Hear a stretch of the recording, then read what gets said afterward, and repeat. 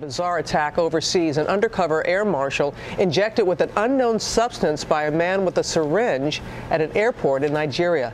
This morning, the marshal is in quarantine, and ABC's chief investigative correspondent Brian Ross is here with those details for us. Good morning, Brian. Well, good morning, Robin. This unprovoked attack has alarmed air marshals who fly in and out of Nigeria as the victim remains under close observation.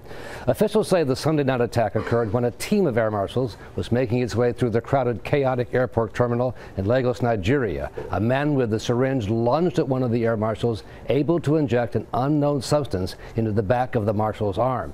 As the attacker went away and evaded capture, the air marshal was rushed through security and boarded the United Airlines flight to Houston that he had been scheduled to work. Now, with fears of either Ebola or HIV, the air marshal was given a heavy dose of antiviral medication, and so far there's been no sign of any problems, Robin. Yes, right now they don't know what was in that syringe. All right, Brian, thank you very much.